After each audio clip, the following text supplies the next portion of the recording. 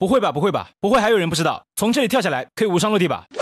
真相一直都在你身边，只是你还没发觉而已。Hello，大家好，我是蓝伟。前段时间教大家的如何利用载具强行开上监狱后山，你们应该都还有印象吧？嗯。为什么突然提到监狱后山呢？因为我们要故地重游，在这里测一个无伤落地的 bug。哦。话不多说，一起来看一下原版视频。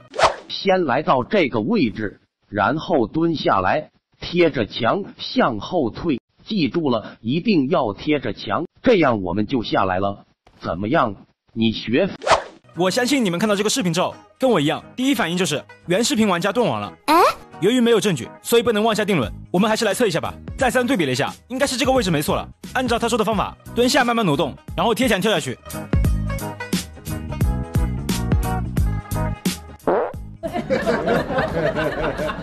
第一次是直接成盒了，可能是方法不对。再试一次，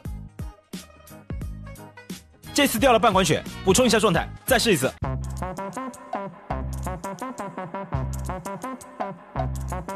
第三次也是掉了半管血，当时我的耐心已经耗尽了，但我的手就是不听使唤，居然又开了一局游戏。嗯，那行吧，就再测一次。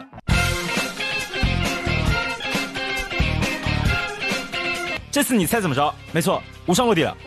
注意看左边的击杀播报，一直是在滚动的，足以证明我没有断网。我们慢镜头回放一下，当时我是走的小碎步，慢慢挪动身体，当人物快要落地的时候，不停的按跳跃按钮，就完成了这个无伤落地的操作了。哦，成功一次，并不代表我掌握到了诀窍，比如这次我就失败了。唉，但后面我又成功了一次。注意看这次落地的位置。